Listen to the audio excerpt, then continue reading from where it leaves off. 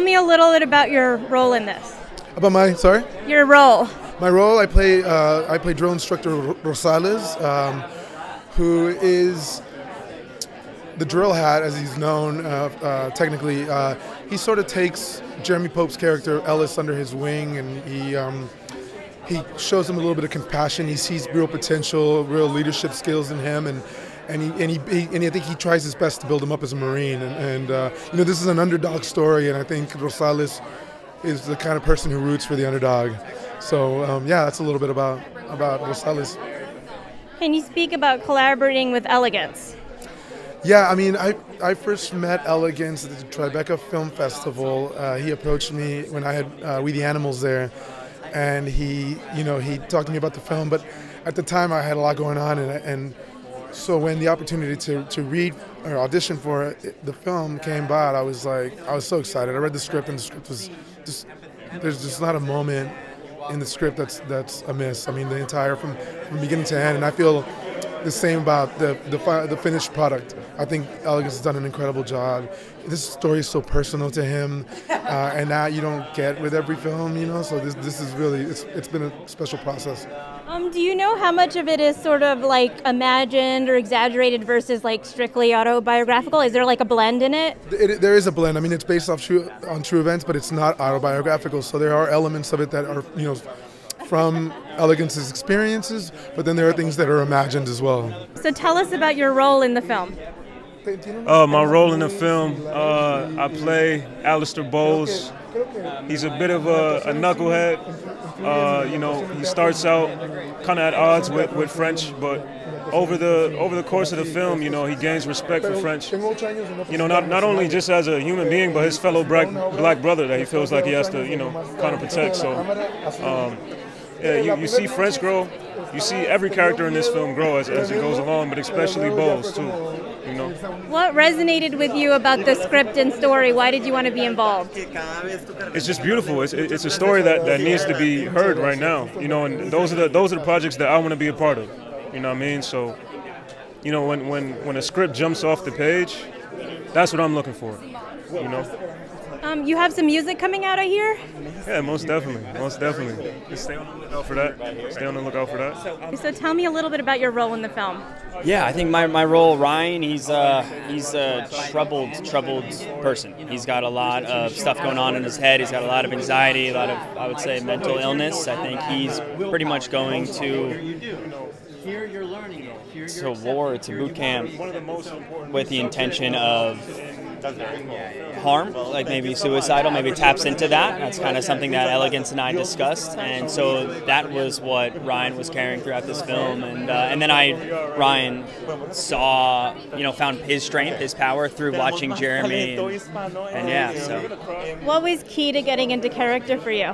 What was key to getting into character? We had about a, a, a, week and a half before we started shooting a boot camp, and I think that time to really talk to Elegance and and kind of collaborate on, on what we, we wanted for Ryan, I think that that time was crucial. And so yeah, a lot of meditating, a lot of journaling, and tapping into some darker times of my life. Uh, tell me about your vision for the costumes.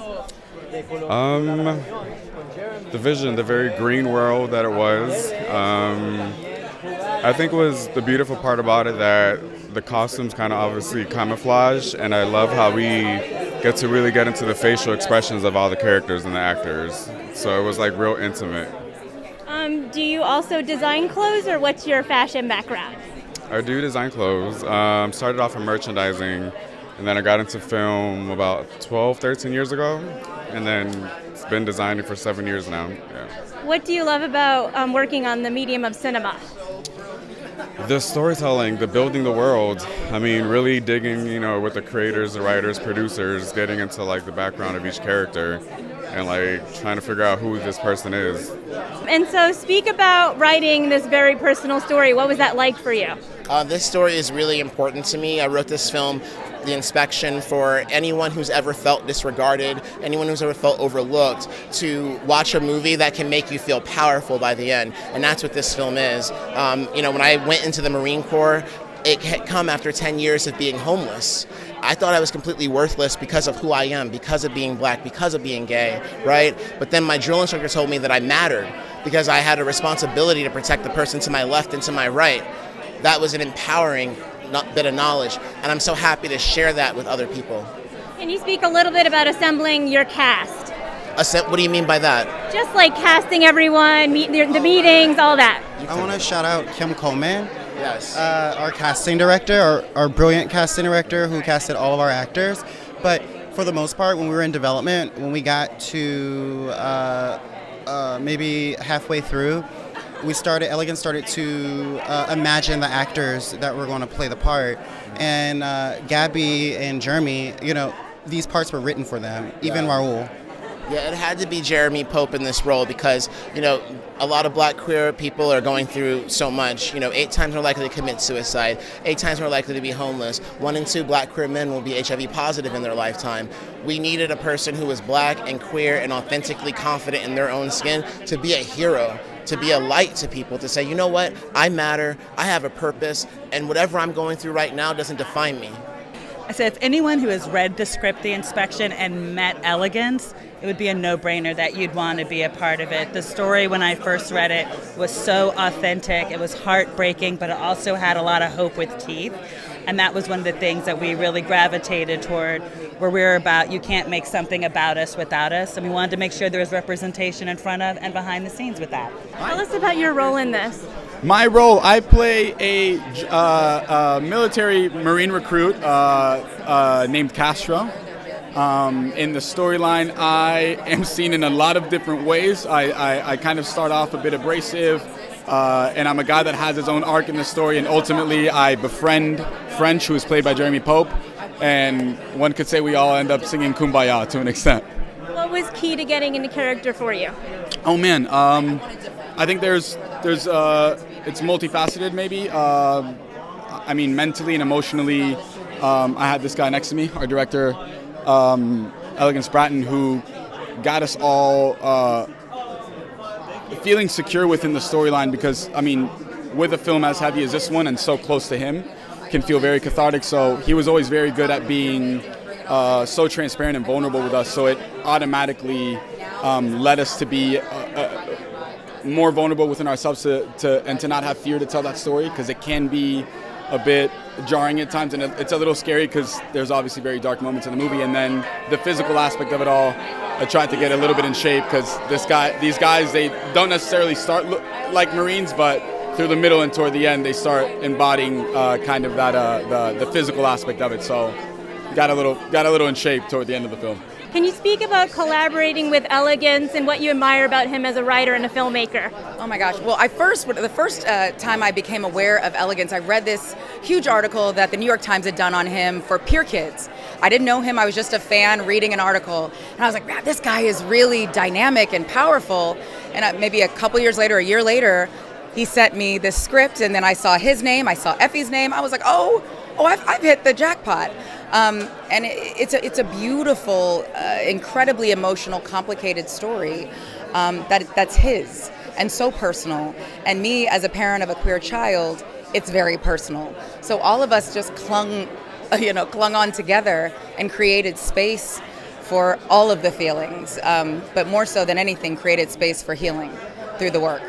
What was key to getting into character for you?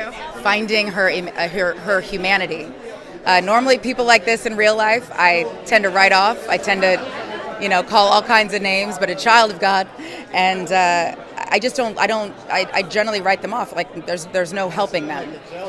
But as again, as a parent of a queer child, anything that that I can do to to create more connections for my child to be seen and loved um, and considered I will do.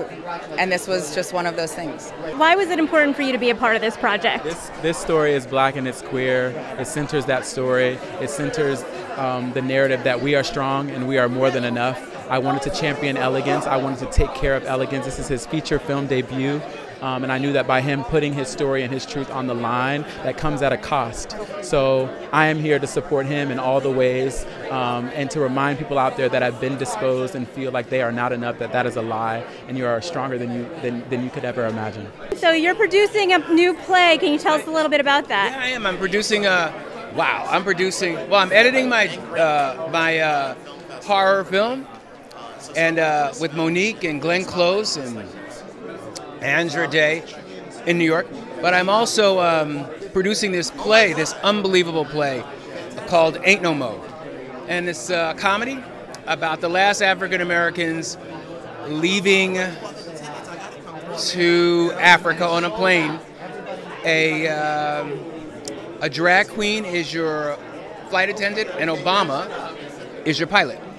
Written by Jordan Cooper, and it's it's just brilliant. It's it's a, it's it's I'm so excited about it. I've never been to Broadway before. My first time. And so, what what attracted you to Jordan's writing, and how did you connect with him? With Jordan, I was um I was uh you know I was it was in the middle of Empire, and as I was um I forgot that Empire started all of this. Like it wouldn't have, we wouldn't have had a Black Panther or Blackish, all of that. Start insecure. It all started with Empire. I was so busy worried about Cookie's hat or the music that I wasn't focused on um, the change that was happening. So when I went to look for other writers for my next project, um, there weren't any. So I had to come to New York City, and uh, the Public Theater introduced me to um, Jordan and the rest is history. Oh, so he, he, he's, written this incredible piece, um, a comedy for BET called Miss Pat. Jordan will be the youngest uh, playwright on Broadway ever. Right now, it's currently held by Lorraine Hansberry for Raisin in the Sun. So I'm looking forward to it. It's, it's not your, it's not, see, black people don't come out to theater. You know, unless it's Denzel or Sam Jackson. Broadway does not speak to us. You know, this speaks to us. So hopefully, hopefully, what Empire did for television, um, um, ain't no more will do for Broadway. Let's hope. And and speaking of your horror film, your foray into horror, can, are you, how excited are you? Terrified. I'm not excited. I'm terrified. I don't. You know, it. it, it I just wanted to check it off the bucket list. So you think it's um, precious, but the uh, the mother isn't beating the kids. The devil is.